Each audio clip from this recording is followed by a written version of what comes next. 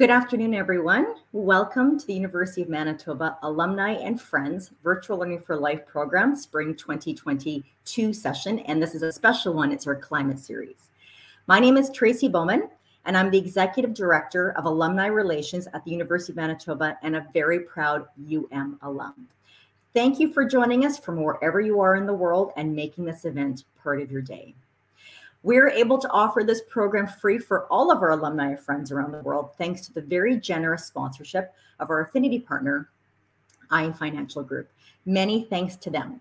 You can learn more about the insurance options that they offer to UM alumni also on the UM, the UM alumni website. So please check that out if you're interested.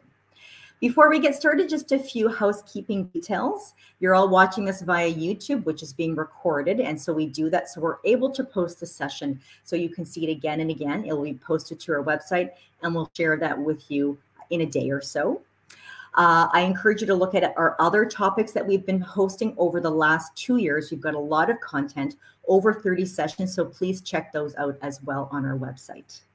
In terms of asking questions of our speaker, there's two ways you can do that. Uh, if you've been with us before, you're familiar with our website that we use Slido, which is www.slido.com. And the password that you need to enter in order to ask questions is VLFL23. Now, if you'd rather not do that, you're able to ask questions right on YouTube in the chat function there, and we'll be look, going back and forth between either. So I really encourage you to ask lots of questions during uh, uh, during the session, and we'll we'll get to as many as we can afterwards. Uh, so now I'm delighted to introduce our speaker, today's presenter, who, if you were participating in our fall 2021 program, you've heard from him before. It's Dr. Stephan Pflugmacher Lima, and he will be speaking on the topic of water is life, how simple plants can contribute. So let me tell you a little bit about him. Uh, Dr. Pflugmacher Lima is the Dean of the University of Manitoba's Clayton H. Riddell Faculty of Environment, Earth, and Resources. He received his PhD from the University of Munich and served as a full professor of ecological impact research and ecotoxicology at the Technical University of Berlin. He's also a professor of aquatic ecotoxicology in an urban environment at the University of Helsinki, where he runs a joint laboratory of, of applied ecotoxicology with the Korean Institute of Science and Technology.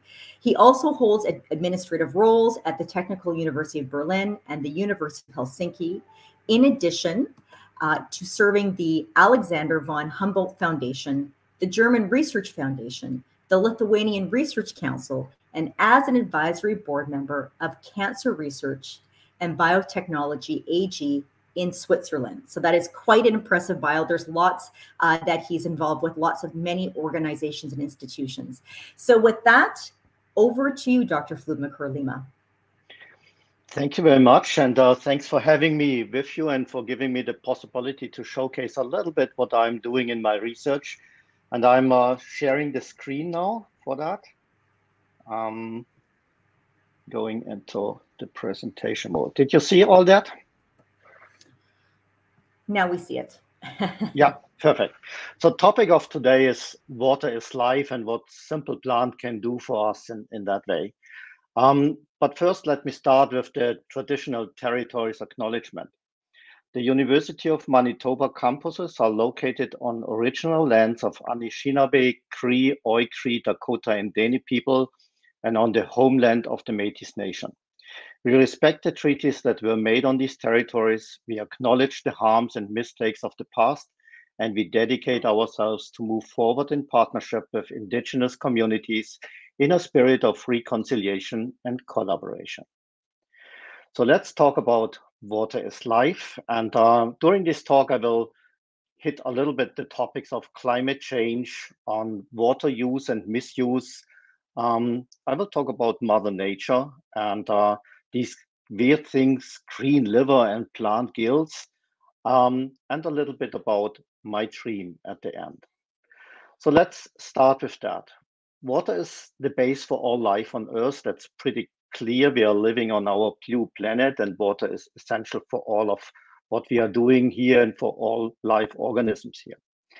Um, 3% of all this water on Earth is fresh water. Even we have a blue planet, most of that is salt water. So we have only 3%, which is really usable for us at the moment. And 0.5% of all fresh water is instantly available for us. The rest is in ice caps, in permafrost, um, and bound to, to soil particles.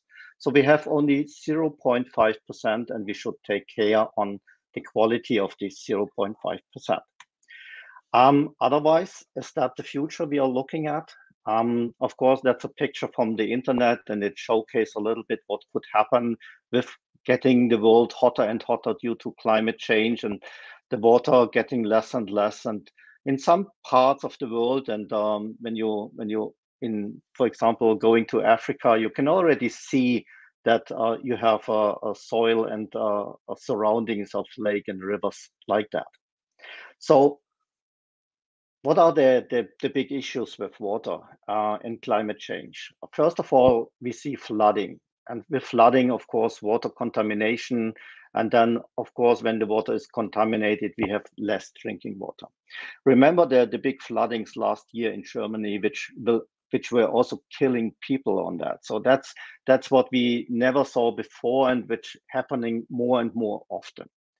Then we see that the heat is is, is there. Um, temperatures are rising. With that, we have algae blooms, which are uh, sometimes really toxic. Um, and also this uh, last summer, when I was uh, going bathing at Lake Winnipeg, I saw one day uh, after a little storm the day before that there was an algae bloom of toxic cyanobacteria coming up.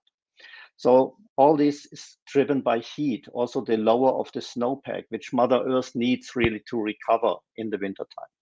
And then we have the droughts, where crop damages can uh, happen, and this will, of course, shrinking our supplies.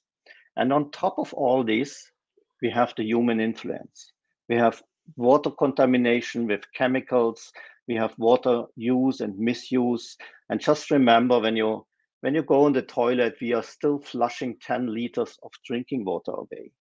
Um, so maybe compost toilets and gray water toilets would be an idea. And um, we have to examine whether this is possible and doable.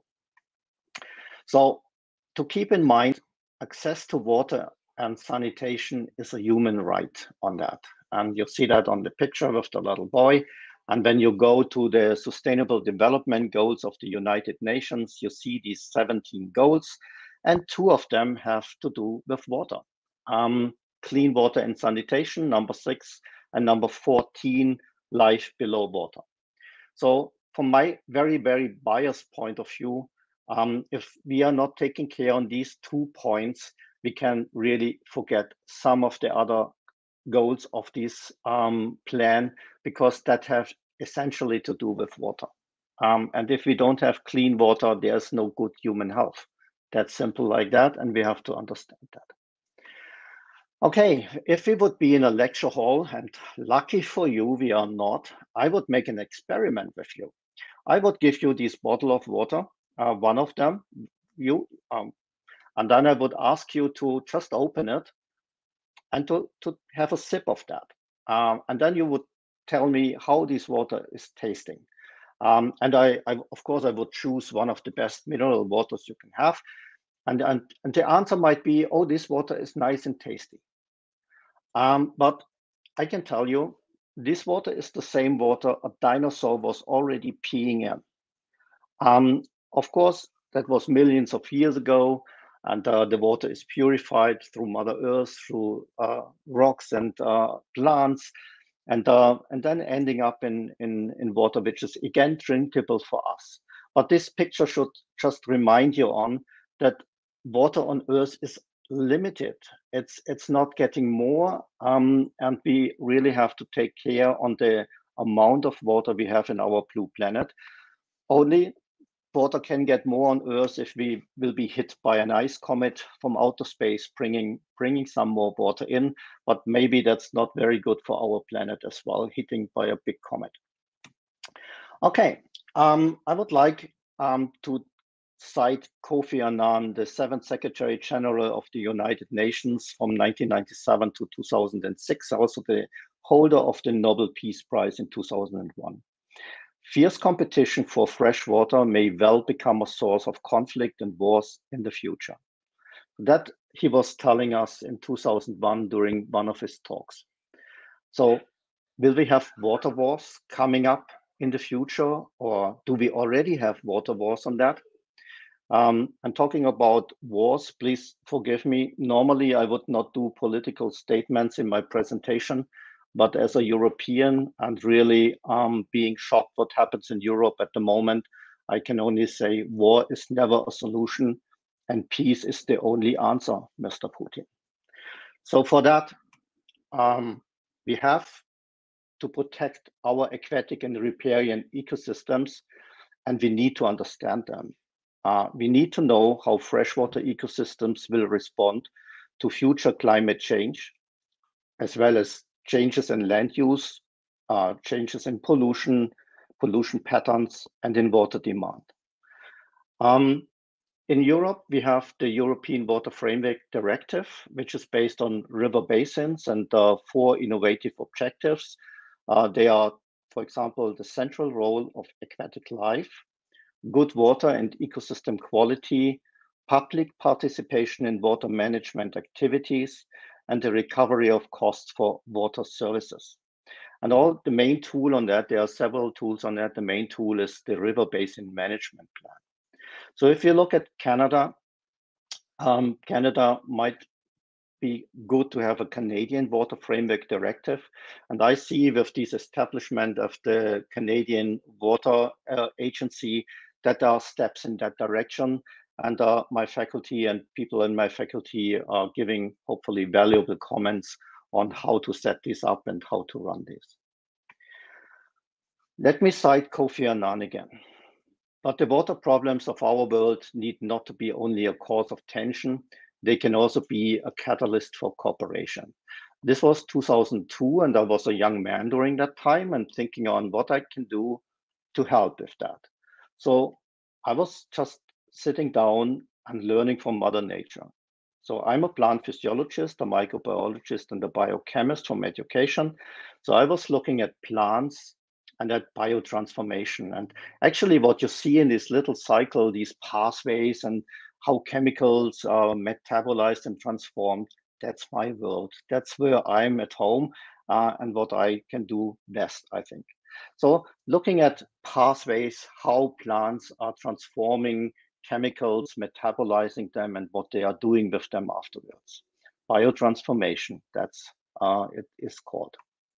So this biotransformation and the same biotransformation happens in our liver is in three phases. Um, we have an activation phase, and that means that the chemical entering a, a body um, is just put a red flag on it, mark it. And these are chemical processes like oxidation, reduction, hydrolysis, and oxidation.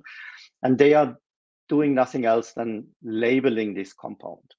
For phase two, and in phase two, that's a conjugation phase. That means we put in some cell internal components like glutathione, sugars, or amino acids to make these metabolites more water soluble. Less uh, more water soluble means um, they can be transported better in a cell. They are most likely not bioaccumulating in fatty tissues. And in phase three, they can be excreted via urine and feces and then released from the body. That's the transportation phase. If you look at plants, plants can pretty do the same.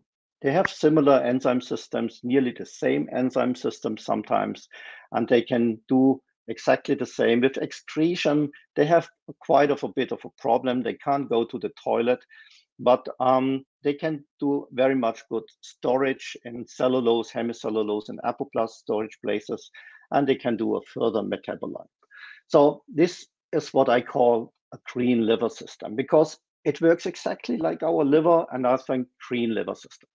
If if you Google green liver system a few years ago, that would be a really weird chicken disease, um, coloring the liver of a chicken green.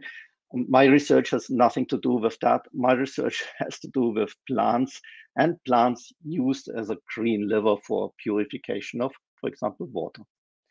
So let's see plants. Uh, and I can only tell you these are really wonderful things. Um, if you are at a lake or at a river, just have a look at them. Um, they are nice and um, in a variety of different shapes and forms. And if you dig a little bit deeper into that, you will see they are really, really beautiful. And hopefully they can help us. So um, learning from Mother Nature, that's what I started 24 years ago already. Um, and we, I screened a lot of these macrophytes. Um, so I was concentrating on aquatic macrophytes, normally submerged ones, and uh, looked what they can do. Um, and as an example, I show you here a graphic with diclofenac. Diclofenac is a painkiller. Um, as you all know, it's freely available in, uh, in drug markets, so you can use it. And I was just testing the uptake of this chemical into aquatic plants. Just see how much an aquatic plant can take up. And as humans are different, also plants are different. And you can see, for example, that some plants are really good and taking up this substance, and some other plants are not so good in doing that. But if we change the chemical, the diclofenac, to maybe copper or maybe uh, cyanobacterial toxins or a pesticide, this pattern will change drastically. So what we did 24 years and even now, we screened 165 different macrophyte species and they were tested in single species test setup, which you can see a little bit on the left-hand side with the beakers. We tested them with 10 different cyanobacterial toxins, 12 different pesticides, six different polyaromatic hydrocarbons, four different polychlorinated biphenyls, and 12 different pharmaceuticals amongst human and veterinary of them. And then we, of course, mixed also these chemicals and tested them again so that we have uh, an overview what is the potential of these pretty simple aquatic plants. So these are the setups, for example, and excuse the German writing. That's a picture from my German lab in the TU Berlin. So this is how it looks like. And uh, we, of course, not only tested the uptake of the chemicals, we looked at the photosynthesis of the plant, we looked at chlorophyll patterns, we looked at biotransformation enzymes, at oxidative stress enzymes. So a whole range of information what a plant can do and what a plant may also suffer when it comes in contact with these contaminants. So with all these database, and uh, remember, I was in former times at the Technical University of Berlin, so we were always seeking on what can we do with all this knowledge. And um, that, that was very nice because I was thinking on ecotoxicology should move into being an applied ecotoxicology. So not only monitoring a status of a water body and complaining, but delivering solutions.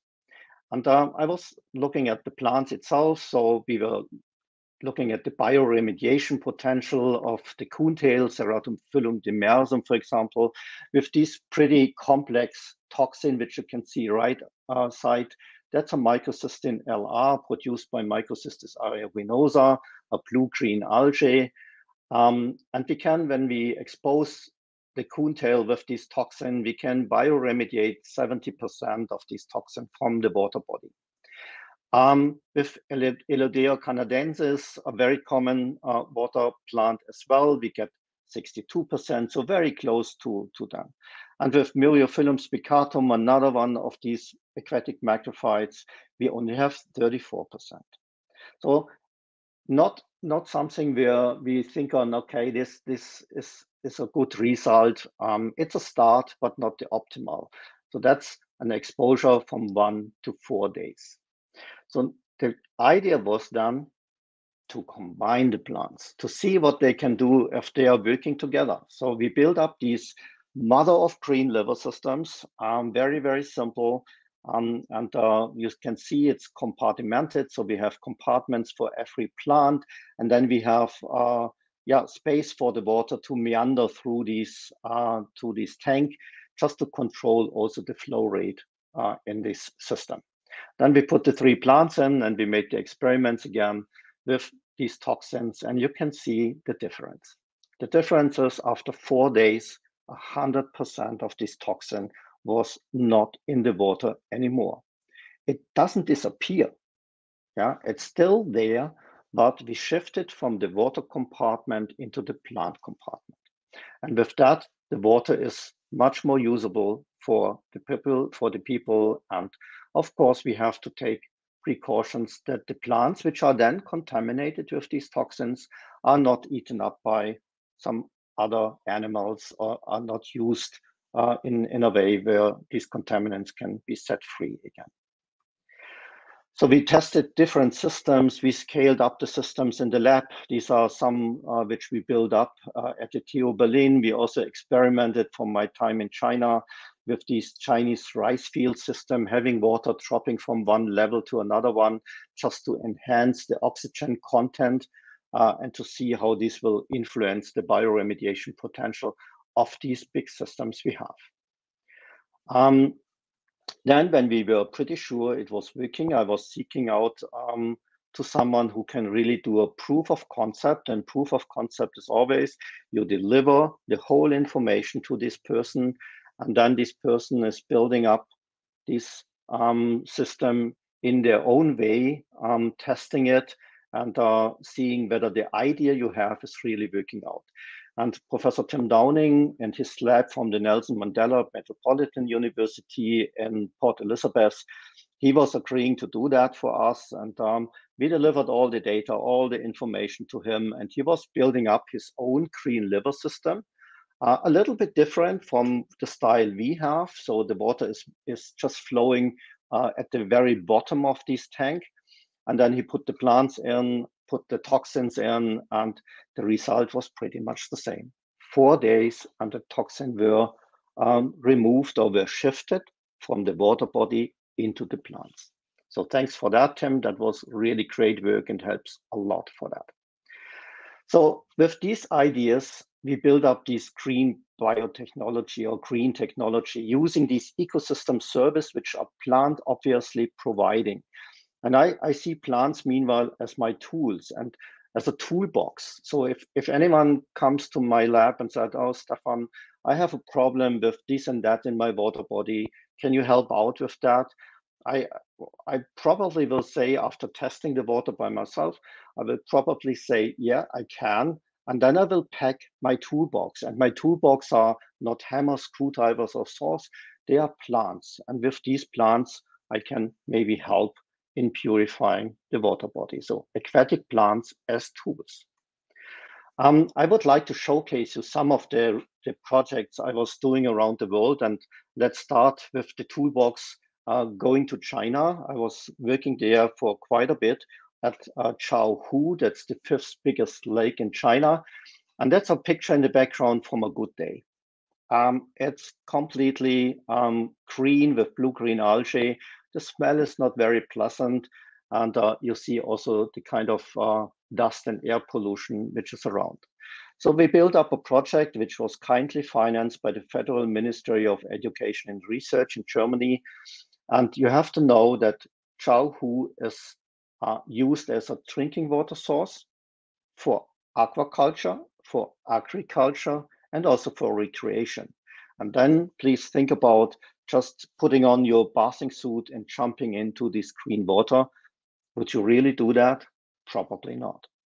So this little picture here shows um, the drinking water. That's after the drinking water preparation uh, of the city. After. So that's not a big difference with what you see in the lake. And that's because some of the cyanobacterial cells, they survive the process and it's in that time, it was only potassium permanganate to oxidize everything which is in the water, and they survive and then they build up again um, in this in this tank, in this open air tank, uh, blooming again. And this water is then distributed to the city of Hefei, um, leading to a cancer rate of two persons per family. So the microcystins in general, they are liver toxins and they are making your cancer. And the result can be seen in, in studies on their populations. So what to do? The Chinese government, uh, after we published it, the results from the lab, they asked me to build up this system a little bit bigger as a test plant. And we did this in the back, yeah, this round-shaped building. That's the water treatment plant of Hefei. And uh, yeah, we built these up uh, with very, very simple means. The total cost of that were less than $500.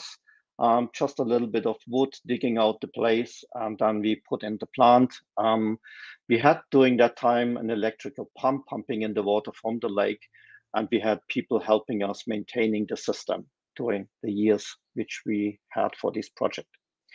So that's the result. Um, we had the lake water, and when we tested the lake water, we had a microcystin content of 46.5 microgram, which is toxic. I would not recommend to drink it at all. After our system, you see already the change in the color of the water.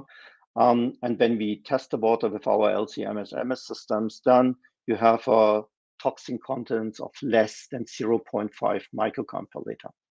The WHO guideline for this toxin is one microgram per liter. With water having that inside, it's safe to drink. I would not really agree to that, but I would say water without toxin would be best. But as you can see, the system is well below the WHO guideline for this toxin. I would also not recommend to immediately drink the water from this uh, Erlenmeyer flask. Um, there are a lot of coliform bacteria inside, so you need to have it through the normal process on ozonation or oxidation uh, until it's really ready for delivered to people for drinking. Another project we had is in El Alto. El Alto is in Bolivia, and what you see here is the drinking water from them. So that's where they get the drinking water from. There's no further treatment. It's just pumped into the city, and you can just get it from the tap. So El Alto is a former mining area. It suffers a lot of droughts at the moment. Um, it has heavy metals around because of the mining, and everything is uh, accumulating in the soil, in the water on that.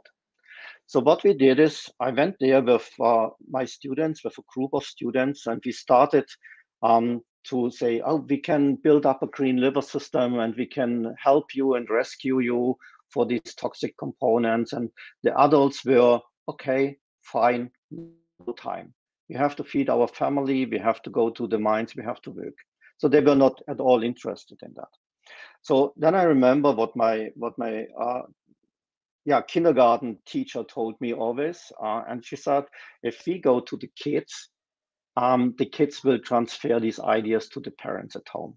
So what we did is we spent a decent amount of time in El Alto at the marketplace, and we played around with plastic bottles, with plants, with straws from a company which you all know with the yellow M. Um, so we, we built up little tabletop plant uh, green liver systems for the kids. We explained them water cycles, um, and uh, we did uh, environmental education at the marketplace. And with that, then the parents were approaching us again and said, okay, listen, um, there's a kindergarten and just build up a little system for them and then we see how it works. And this is exactly what we did in the upper pictures. There's the kindergarten in the back, and then we build up a system using this carry rainwater um, and just some flask where we had plants, um, and then these plants were purifying the water. What I also have to say, we are also only using plants which are local. We are not transferring plants from one country to another one. So that's are all plants which are uh, local to this area we are working on. So the result we learned a lot on the needs of the community. Um, we had environmental education components, which was cool for my students to do that. And we had students' involvement from our country and also from Bolivia, from El Alto. As you can see from the table, um, the reduction in heavy metal contamination, we were looking at lead, mercury, and arsenic. It was it was good it was not perfect. And of course, these systems now have to be optimized and to see whether we can, with different combinations in, in plants, uh, whether we can get these uh, heavy metal load even more reduced on that. Yeah, the other project I would like to mention is Brazil. Um, this is uh, Itacuruba uh, and the Itaparica uh, reservoir in there, and it's used again for recreation and also for tilapia farming, drinking water production. And uh, the tilapia farming is polluting the water with nutrients, with uh, with pharmaceuticals. And the way to maybe avoid that was just to build a, uh, a green liver system. We had a, a tilapia farm which uh, was really uh, cooperating with us um, on that. And again, it was a, a, project financed by our ministry. So we were just building up these uh, green liver system, and it's at the moment the biggest one which we did, uh, 120 meters long, 25 meters wide. Um, a little bit more sophisticated, like in China. So we built brick walls that we can really walk on that, that we can take water samples within the system. And uh, this is how it looks like from uh, a little bit on top. So we use the drone flying around on that. In the left-hand corner, you see the land-based uh, tilapia rearing stations. So there are a hundred thousand of fish in these little ponds.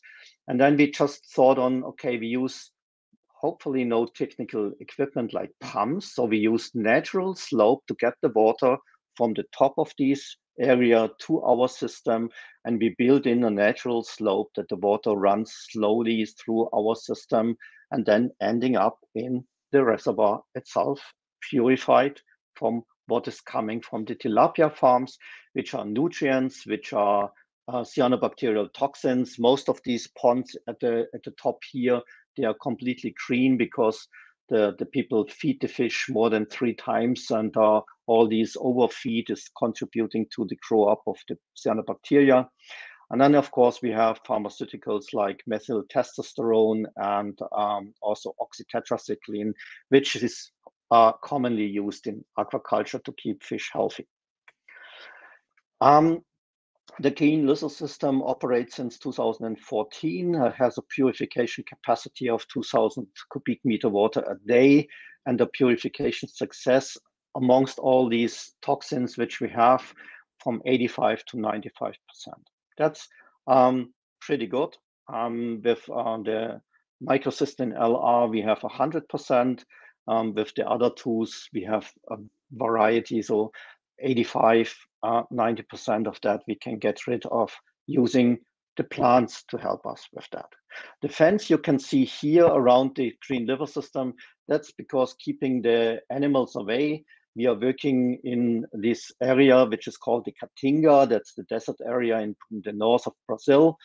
And uh, of course, if they see a water body, they immediately jump in and feed on the nice and uh, green plants in the water. So to keep the, the goats out of that, um, that's why we fenced the whole area on that. Um, another thing is a little bit of, yeah, starting dreaming and starting planning and developing ideas with my students. So we had we had the idea of Green Liver Go Space.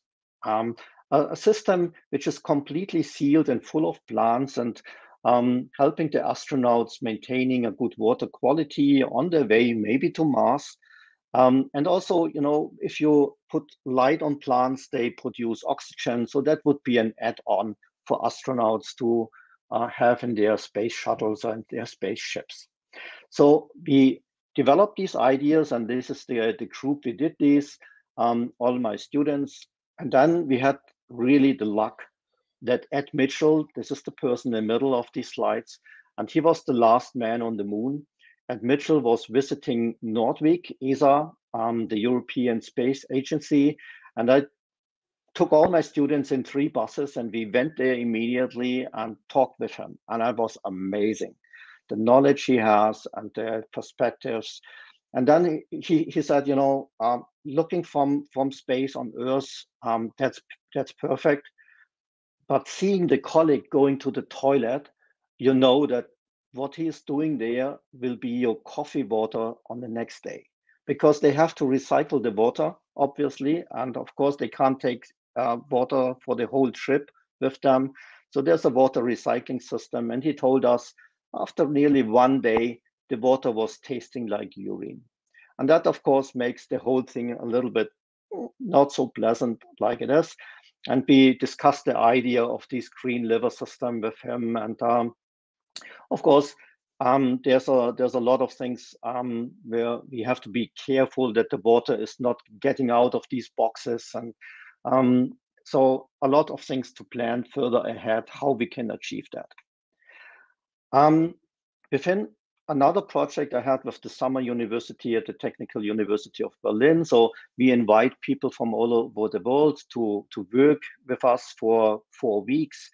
And uh, I had one, one person um, from uh, Venezuela, and she sent me these pictures. Uh, that's the picture from her kitchen, and her mother is just filling a cup of drinking water. Um, and she said they have to filter, of course, this water, and this is how the drinking water is looking like.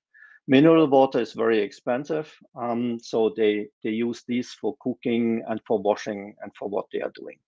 So we thought we dedicate this summer university project to them, and we build up a fridge size green liver system, an indoor system with artificial lights, which we can use for purification of this kind of water at home, at the kitchen, under your own control. So that we end up with, with these devices, which you can see on the left side.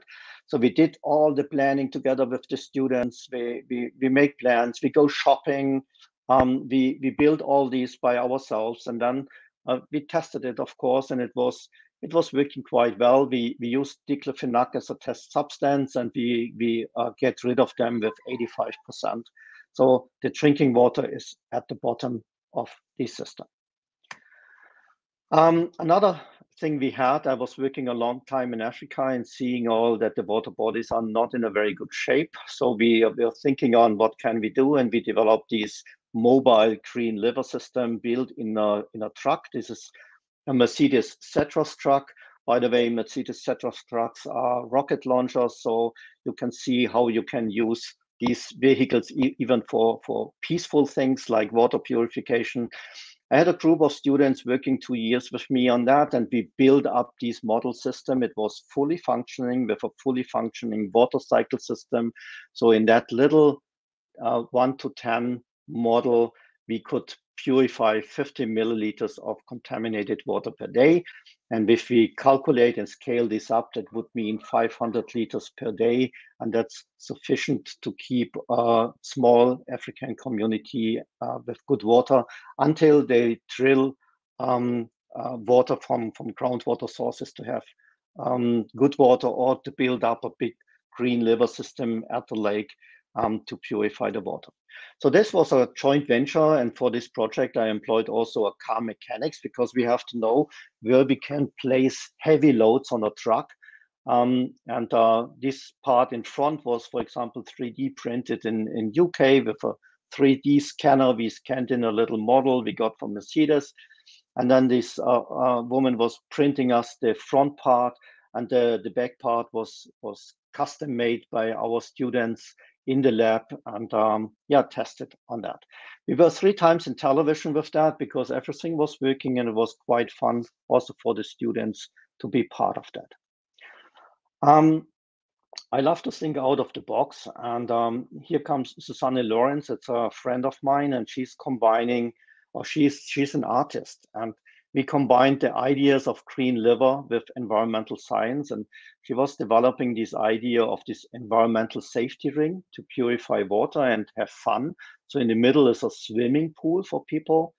And then in the outside is my green liver system purifying the water for the swimming pool. And of course, when people swim in water, sometimes it's not fast enough to get out on a toilet. So they, they leave the urine inside that and we have to purify that in a second green liver ring in this system to uh, get this urine out of that and not to pollute the environment even more. So that's a system uh, combining art and environmental science on that.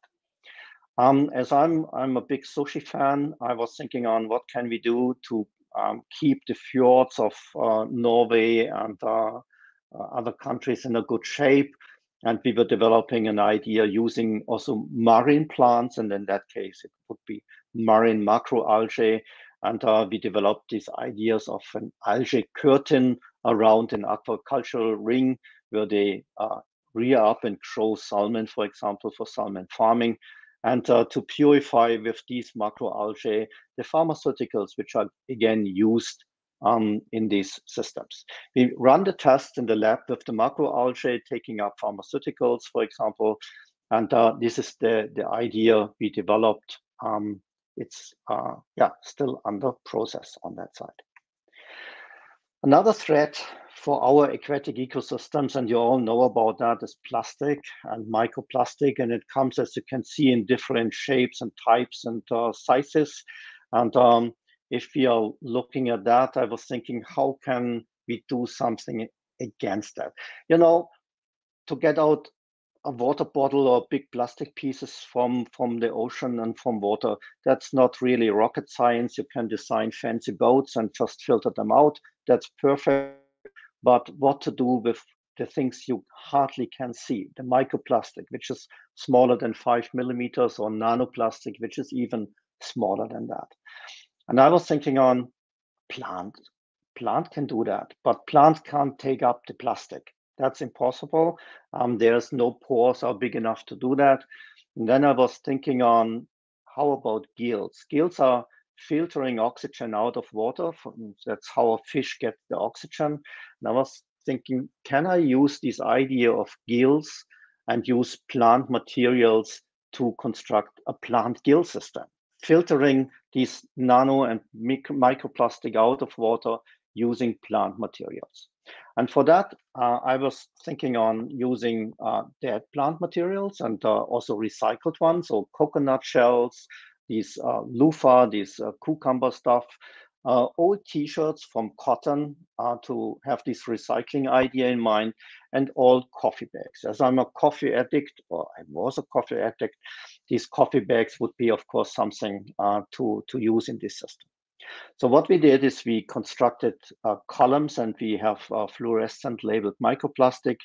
Um, we uh, had these materials in these columns. We put the plastic on top and then we run it uh, through that with, with water. And as you can see from the table, with some of these plastics, we are pretty good in removing 100% uh, already from uh, polyethylene plastics um, in this kind of a system using dead plant material. Um, so we expanded this ecosystem service of plants and this green technology, what plants can do for us. And in that case, coconut is not an aquatic plant, forgive me for that, also the others, but we can expand the service which plants in general are delivering in helping us keep the environment in a good shape. With that, I would love to tell you my dream. Um, and my dream is, and I have a dream, and I hope I am allowed to use these big words. I have a dream of urban sustainable living.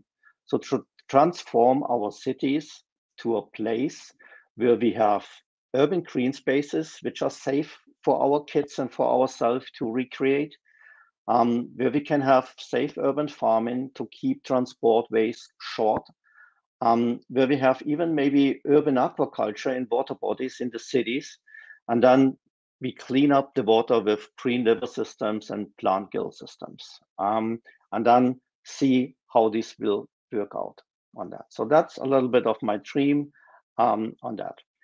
Um, as you can see on the pictures here, um, it's nice to have a dream, but it's even more nice to share this dream with young people, and that's what we what I did. Um, and I'm grateful to have to have this opportunity to work with them all, and that we had quite a fun. And that's that's what it is. It should be always fun working together and developing ideas, and this is why it is important to have research coupled with teaching and to put the kids and the students immediately into research and developing ideas instead of yeah keeping them in the lecture hall. I thanks a lot to my CSI team, which you can see here, and I also thank you a lot for your attention on that. And I'm happy to take questions on the lecture on this. So I stop sharing my screen now. Hope that's okay. Wonderful. Thank you so much. That was very interesting. You, you've shown us that picture before of your CSI team. That's a big team. A lot of students yeah. and researchers who are part of that, that, uh, that go into that. So and and we've received a few comments in Slido about what a beautiful dream that is, and and uh, and thanks for sharing that. So why don't we go to some of our questions on Slido? I'm not sure if there's any on YouTube. So um, here we go. Okay, think we need to make it just a little bigger, if it's at all possible. Teddy, having a hard time seeing. Um, okay, just one moment. Perfect. Okay. Um, this this question came in earlier, which is why is water not a commodity? Nestle profits by it. Mm-hmm.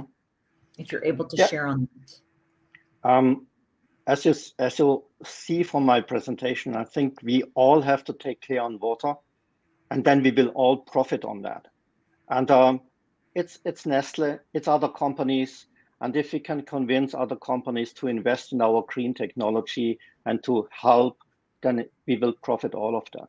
So um, it, it's it's very easy all the time to pick on a special company, but we should we should we are all responsible for that. I'm responsible to have good water, um, and uh, I have also to think on what what I'm flushing down the toilet, uh, having rest of medications, um, having um, yeah things which I don't use anymore, like uh, sanitizers or whatever. So we have to start with us and then to convince the others. And it will be just a snowball getting bigger and bigger for the safe of our water and keeping our water bodies in a good shape. Mm-hmm. I think th- thank you for that feedback. I think you're right. It, it it takes all of us, right, to make sure that our water is is safe and pure uh, everywhere. So that that's a, yeah. that's a great tip. Uh, Teddy, if you want to bring back Slido. Um, okay, I think, I don't know if there's maybe a question further above. If you can go scroll further above because we see that's a beautiful dream. Um, I'm just, okay, I'm just going to grab, never mind. I'm going to grab this one. How can water use licensing be, how, how can, oops. Okay, a lot of things have come through. Um, how can water use licensing be improved? I think, you know, personally, um, I think water is too cheap. Um, if you look at Germany, we pay a half of a euro cent for water. And that's really too cheap that people start thinking on the use of water because half of a euro cent, come on, it doesn't matter. Yeah. Uh, so we have to improve that. And uh, with, with these, um, we, we have more possibilities to, to think about what we can do with, with this money to improve water quality for all mm-hmm. of us. Mm-hmm. Okay. I, I, I know people don't want to hear that, but but really, um, if you think on what you're paying for one liter of fuel in comparison to one liter of water, and if you think about if I put you in a room with one liter of fuel and one mm-hmm. liter of water, and I keep you there for four days, if you drink the fuel, you will die soon.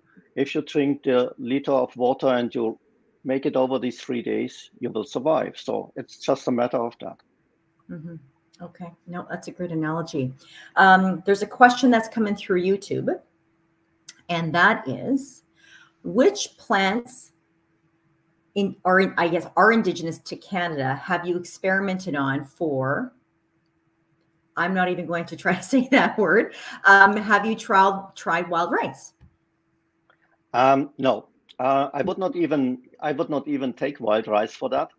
Um, oh. because because you know rice is, is something which goes very quickly and wild rice goes very quickly into the food chain so that's not what we want we also want to have plants which are submerged into the water our system is completely artificial it has nothing to do with a wetland, with a constructed wetland.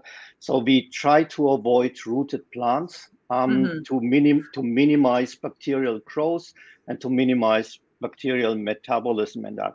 Because bacterial metabolize outside of their cells, and I want that most of the contaminants are metabolized in the plant. That's the difference, and that's why I would not take wild rice. Even the reed uh, in the Chinese um, in the Chinese uh, uh, example I give you, I was not so happy about that. But the Chinese government was telling me, okay, please use reed, and so I was using it for that. Okay, all right. No, that's a great explanation. Um, okay, a question that came in through YouTube, and is sorry if I missed this, but which plants can be used uh, for green liver systems here in Manitoba? When I, you know, I'm since a year here already, and uh, I was sometimes at the lakes uh, here, and I see that you have Ceratophyllum demersum, you have Myriophyllum spicatum, you have Elodea canadensis. So there are plants which are all over the world, um, and this can be used. What I said, we use only local plants. I will mm. not transfer an South American plant, even if it would be the best in the world for doing the remediation process to Canada or vice versa, because that's not what we want. We want to use the natural resources of the location to do the purpose. Okay, that makes a lot of sense. Uh, Teddy, we're going to go back to Slido now. There's a number of questions here. Um, okay, how does this compare to nature-based or natural infrastructure solutions? If if you mean with that constructed wetlands, um, then I have to say our system is packing away the contaminants into the plant, so completely shifting it into that. We still produce because you can't avoid microbiology in these systems, uh, but you can minimize that. Um, so when you when you for example have microcystin and you put it in a wetland system, we get around 20 different metabolites in the water in the water and we don't know the toxicity of these metabolites. If we put these in our green liver system, we get maybe four or five metabolites in the water, um, which is significantly less. And with that, maybe also the water is uh, less um, yeah, dangerous or toxic to that. Mm-hmm. So that's uh, that's why we we prefer really artificial systems instead of really um, getting into these wetland. Mm-hmm. Okay.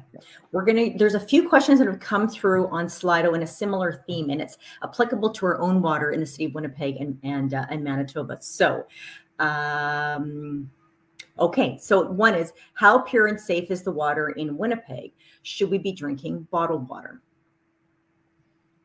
That's a good idea. Um, uh, uh, not a good idea. That's a good question.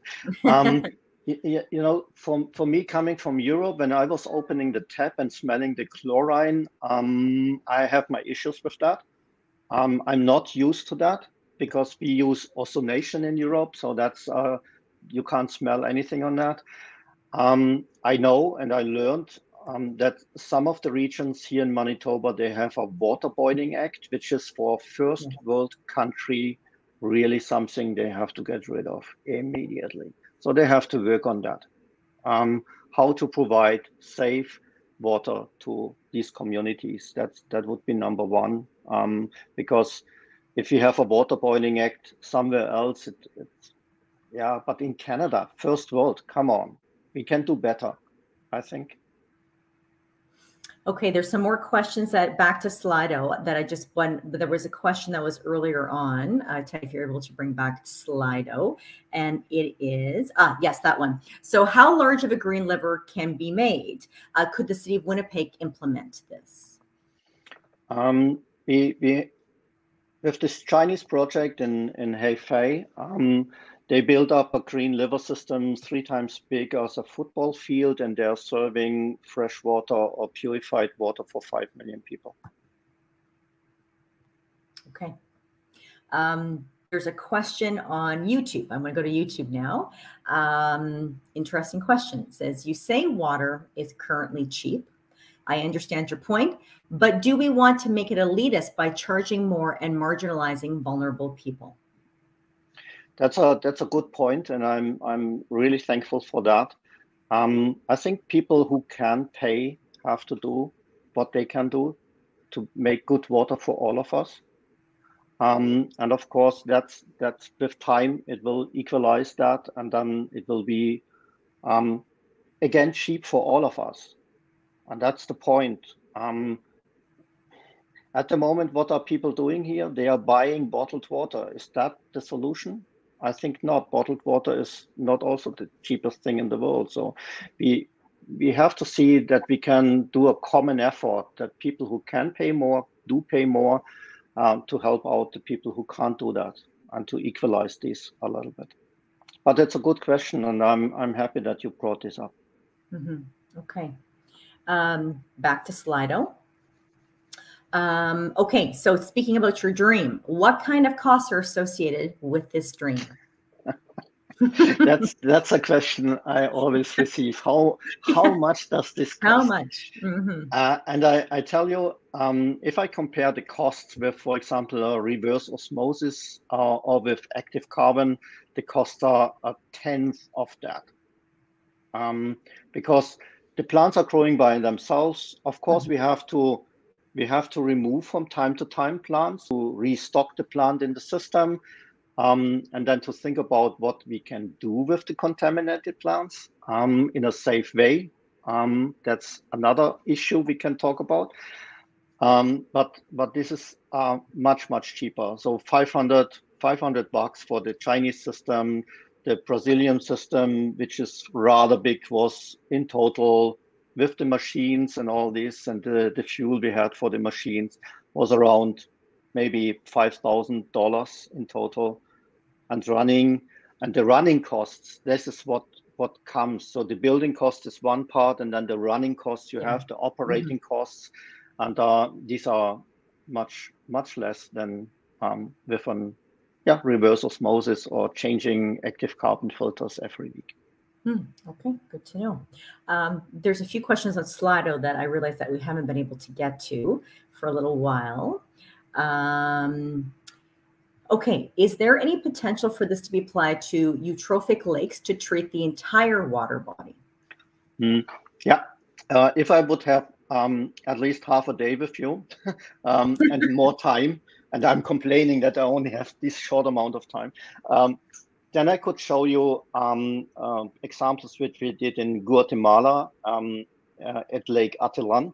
And this is a highly eutrophic lake, and um, we were thinking on how can we help the whole lake, whole lake experiments. Um, and the idea was building up green liver islands, which are floating in the lake, purifying the hmm. water, uh, having a green liver belt around the lake shore to purify the water. So there are ideas around. Um, we are testing, we are, yeah, producing ideas and, and uh, see how we can uh, flip a lake into a a good shape again. Mm-hmm, mm-hmm. Okay. Uh, there's one last question, a Slido that I just wanted to to peek at, and that was, how, how often do you have to replace your plants with this system? Yeah, um, that's that's also a very good question, and it depends very much on the amount of contamination we have to remove from the water body constantly. So the concentration of these contaminants, the amount of concentrations, that's that's what we are looking at, and plants have they grow and with that they can really take up a lot but there's a limit um, when they when they can't do anymore then we have to remove it um, and the long time test shows it's maybe after five to six months we have in parts remove some plants and plant new ones in to keep the the system in a good shape mm-hmm. okay so now back to YouTube. We've got lots of great questions sitting there. One of which is Can the system be used up north in winter for remote communities? Yes, um, that's a good question. Um, as you know, I changed from uh, from uh, Technical University of Berlin um, in Germany to Finland, and Finland is known as being a cold country. And I was first of all, it was my own test whether I can stand cold weather before coming to Canada. before coming here. yeah, yeah. And and the second one was, of course, having in mind what can we do um, to build up a green liver system in these kind of a cold and snowy area. And I, I tell you, Finland in winter is even more dark, so plants would have a problem to get enough light. Um, so that's where we came up with greenhouse systems, which are then um, yeah, we use thermal energy to keep that warm, um, to keep that at a, at a temperature where the plants are still working and living, and to have uh, uh, artificial LED lights to, to keep them to make photosynthesis and to help us producing or um, uh, purifying the water. So there are possibilities even in really cold weather to do that. Mm-hmm. Okay, we ha- we still have so many more questions to go through, but I'm going to maybe just limit it to two more because I see that we're at time. Um, okay, back onto YouTube. So, um, is any groundwater okay to drink in Manitoba, where it doesn't have to be boiled if not treated? As as I said, I can't answer this question honestly okay. Because I don't know it.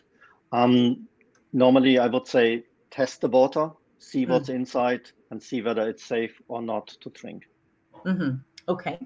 Um, now, this might be in a similar vein, but so how about systems for individual households like rural holdings?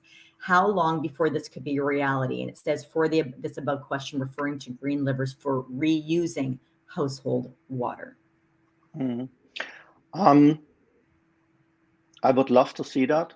That's part of the dream of a sustainable urban mm-hmm. city. Um, and uh, one step in that direction was the system we designed for Venezuela, having it in your own kitchen and being responsible for that. You know, you, you have to check, you have to learn how to keep the plants healthy, how to see if the plants are not feeling well, and then having a checklist and an SOP manual what to do if a plant is not feeling well, when to remove it, and uh, what to do with the contaminated plants afterwards. Mm-hmm. Okay. Yep. And the last question from YouTube that we're going to look at it because it's about solar aquatic systems. So they thank you for your talk. Do you have any experience with solar aquatic systems? Are there major differences to the green liver system? Um, so that means using uh, solar energy just to, to purify water. Um, on, on that, this is, I guess, what, what is meant on that. Um, I, I would have to look it up. You know, you ha- we have to understand, and that's what I had to learn in former times as well when we developed these systems. None of these systems is maybe making the work at all good. So we have maybe to combine systems. We have to see what we can do in in, in testing out green liver system with these solar systems, with even maybe using sand filters and active carbon when it's really necessary and the combination of all these systems in a good way will help us keep our waters in a good shape. Mm-hmm. Okay. Well, we're going to leave it at that. There's still some more questions that have come through. So, uh, if you're okay, I might just forward those questions to you. And if you feel that you're able to answer them, perhaps if you could give us a few uh, points on that, and then we can share it with our uh, with our larger audience. But some really interesting ones about what you do with your plants, and uh, actually forwarding an article about something to to do with removing microplastics from water. So I'll share that with you. So uh, thank you so very much for that really interesting presentation. And as you can imagine, with the level of questions we've had, our audience has also found it very interesting. I think we can all say that clean drinking water for everywhere around the world is really, really important to us. And so your research is groundbreaking and, and please keep doing that here at the University of Manitoba and all over the world. So thank you everybody for participating wherever you are joining us. We did have a question from someone. Yes, we're recording this. Yes, it will be posted on our website and we will share that with you. So if you wanted to see any of those slides again, um, uh, feel free to do that. Please watch it again and again, share with your network. Uh, I just want to let you give give you a sneak peek as to what is next week. As I mentioned earlier, uh, we're really excited. This is our climate series, so you'll notice that all the sessions over the six weeks have a climate focus on them. Today being on water, uh, and all of the researchers are from uh, the Clayton H. Riddell Faculty of Environment, Earth, and Resources. So that's really exciting. So next week, if you haven't registered for it yet, I encourage you to do that on our website. We will have with us Dr. Michelle McCrystall. She's a postdoctoral fellow from the Center for Earth Observation Science with the Department of Environment and Geography in the faculty in which I just mentioned. And again, on uh, uh, on moisture, on, on, on that topic, a wetter future for the Arctic. I'm sure a lot of us are very interested in the future of the Arctic as we see more and more. And we have some of uh, the world-renowned scientists here at our university, University of Manitoba. So you won't want to miss that one. So please go to our website to register for that. Thank you for your time today. Please watch this again and again, and we will see you next week.